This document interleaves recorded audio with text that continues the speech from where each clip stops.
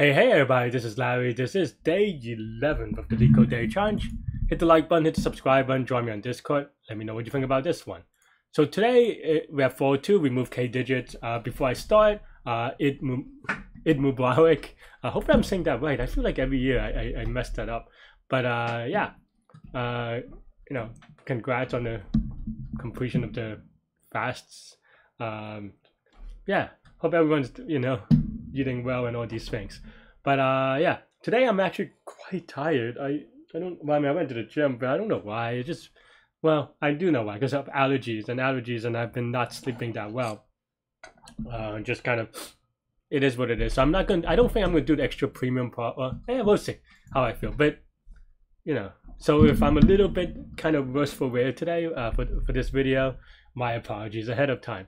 All right, let's take a look. 402, we move k digits. Given string num representing a non-negative uh, integer num and an integer k, return the smallest possible removing k digits from nums. Okay, so you have to remove k digits and you want to uh, remove k digits. Oh, you want to remove k digits and then you're trying to remove all these things, right? All right. Uh, the 10 to the 5 number of digits and you can remove k's and you should not have leading zeros. Oh no, you could have leading zeros, maybe. It's just that the input is not, um, does not have leading zero. Oh, the out no, no, I'm wrong. Output also does not. Oh, oh, oh, the output should not have it, but you could remove it and keep the. Okay, fine. Okay, so I think this is, in some way, some sort of greedy or some sort of sorting. The idea, though, um, it's going to be the, the, the way that I think about it in this problem is going to be some idea, some variation. I, I don't have. To, I'm saying it in very hand wavy, non-concrete terms. My apologies. It's not because I'm trying to be, you know, funky or whatever. It's that I don't know quite yet, but I have this idea in my head, right? So, uh, and I'm going to try to explain it. But the idea here is some idea of exchange algorithm, right? So we want to remove one digit at a time um, because I don't think it makes sense. Like there's no, because the digits are kind of independent, right? There's no benefit of removing two digits at a time that you cannot get from removing one digit twice, I think, in terms of the proof. And then the idea here is what would we, we try to remove, right? And this is where we play around a little bit. And the idea that I have is what I, it's kind of like the exchange argument, but not really, I suppose. Uh, but it's just this idea of um, uh, replacement, maybe, right? And just try to figure out what is the best, right? So here we can, let's just say, and I'm just doing it manually so that I can play around with some ideas to kind of get the sense, right? I I have a um, a notepad here and a pencil, and I think normally if I wasn't on stream and all these things, that's what I would use. I would just write it out and be like playing around with it manually. But uh, okay, so let's say we remove a one, then uh, so we don't want to remove a one because it's clear that removing a four would be better. So we so first thing that I notice is that if we have increasing digit, you always want to get rid of the second the the digit that is bigger. Okay. But then now uh, let's see Let, let's say the 3 do we want to remove the 3 or the 4 no we still want to remove the 4 right? Because that gives us a smaller number. You want to remove 2 no 2 no 1 no 9 still no because the 4 would be the best. But I don't hmm don't really have an idea though. I mean, I, I think we have some sorts of property, but okay, let's say we remove the 4 after one thing, and then now we have to remove another digit, right? So we also want to remove the 3, because that gives us 1, 2. What is the property here that I'm trying to figure out? And then after that, we remove, I guess the 2.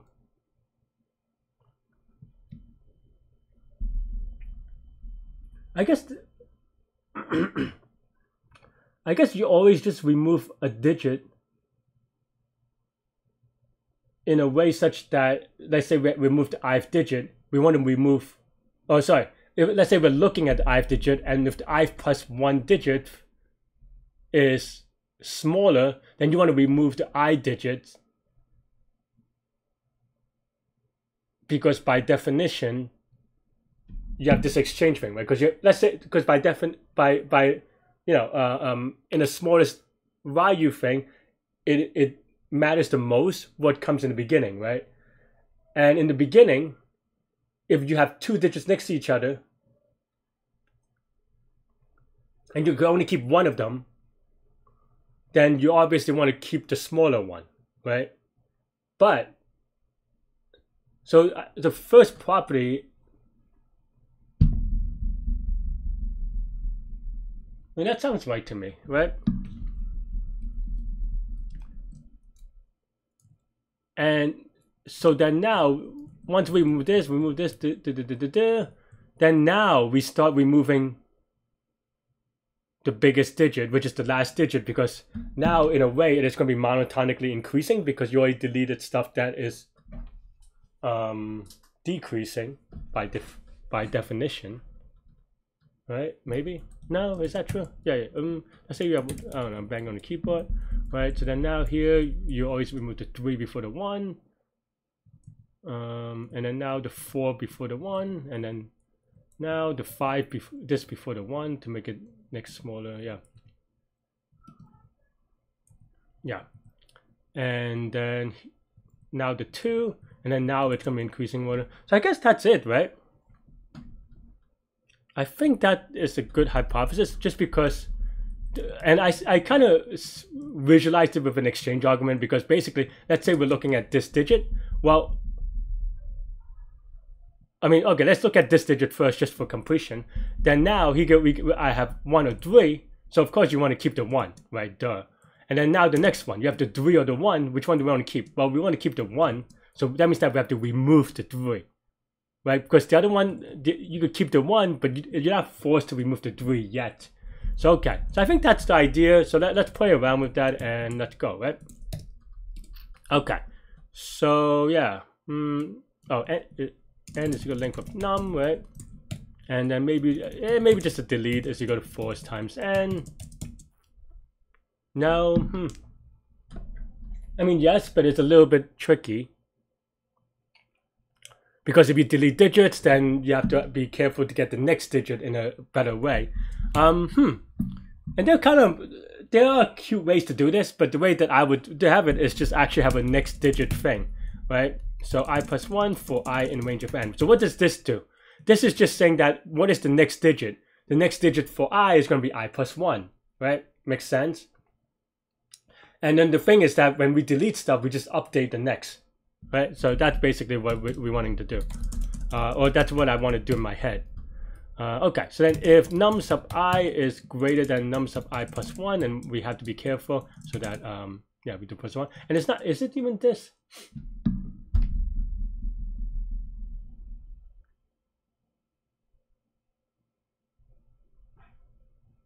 Hmm.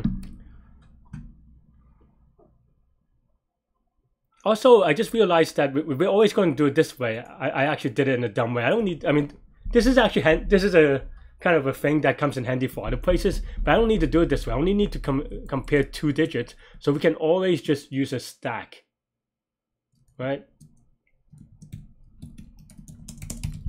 So then now for C and num, right? So then um, stack that up and C, maybe if length of stack is greater than equal to two, um, and stack the top of the stack is, uh, uh, the the second top of the stack is greater than stack. Eh, maybe I, I shouldn't put it on yet. Okay fine. Let's just do it this way and then we could push it later. And let's say the top of the stack is greater than C uh, or the other way around sorry. If the current character is strictly greater than that then we can remove one of them which is the current one wait what no, that's not right. No, no, no, no, no. No, no. If the top of the stack is greater than the current character, then we pop, and then we do stack dot append C. Am I right?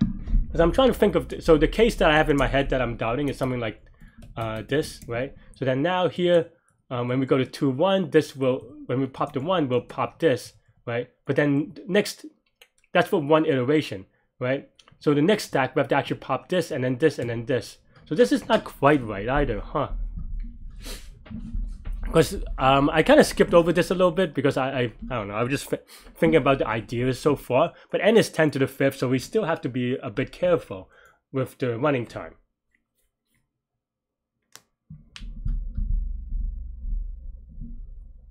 I guess this can be a while loop actually, right? Um, and k is greater than zero, then maybe this should be good. Because then now you, so yeah. And the fun thing is that, I think this is right now. Uh, we have to do more with k is greater than zero, right? And then now, do, do, do, do, do, do, but this is not quite it yet because of the leading zeros, but I just want to kind of run it real quick. Um, hmm.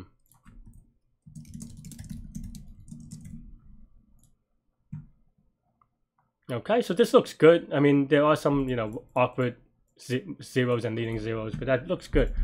Um, the one thing that I want to add to this is that, I mean, hopefully you watched the video for the last 10 minutes or so or whatever it is, uh, and you kind of saw how I come up with this formula, right? Because now we're just popping, um, you know, if the last thing is bigger than this thing, we pop it, right?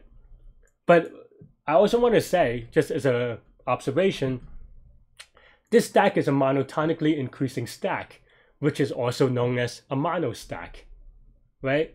No, and I, I didn't do this per, on purpose. I but the reason why I want to point it out is because I think a lot of people try to do this thing where they're like, oh, this is just a mono stack problem. This is just, and the reason why they think that way is because they memorized or recognized the pattern for a lot of these monostack problems, but you can see that it doesn't matter. It's just a it's just something that happens to come about because of the property of how we remove things.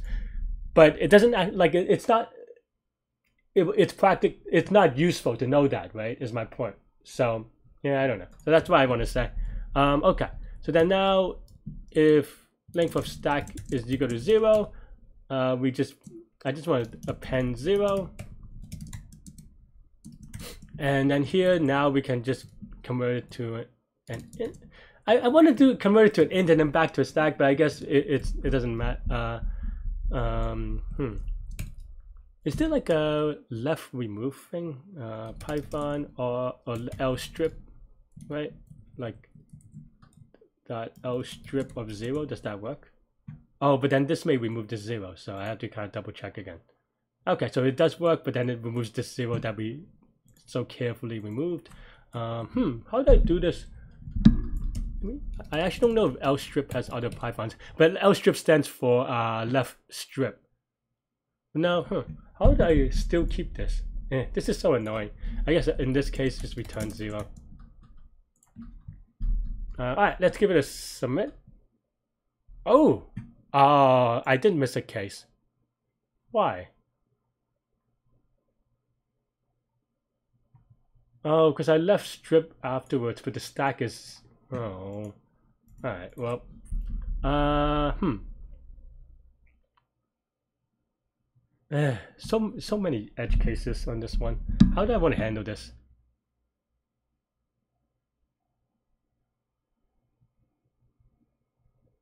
Eh. this is just annoying. Um,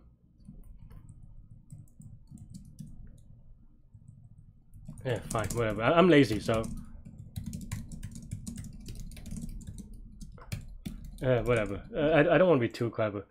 Uh, we'll see if I mess it up again. Oh, man. Oh, this is actually a big one. Why do I have... Oh, I just forgot K... Uh, I am dumb. Wow, how did that even pass anything? Alright, I, I watched it a little bit. Uh, I'm not gonna lie. Alright, let's put this in here. I, I think for some reason I forgot to put it in here. Uh, I didn't put the other one in there either. Okay, fine. Alright, there we go. So okay, a little, a couple of edge cases that I, I kind of just rushed it because I wanted to go over, um, you know, mono stack and stuff like that. But hopefully this makes sense. It is greedy in that sense, right? Because and I, it's not quite the exchange argument, but, it, um, but it has that idea of like, okay, you have the choice between these two things, and if you choose the wrong one, then you're never gonna get a better answer. So yeah, uh, what's the complexity here? This is gonna be linear time for this for loop and linear space for the stack, and also the return result thing. Eh. Right, and yeah, it's a for loop and a while loop, but but the stack only has n elements at most, right? So this pop can only happen n times, so this iteration only happen at n time. So yeah, linear time, linear space, and that's what I have for this one. That's all I have for today. Happy holidays and everything.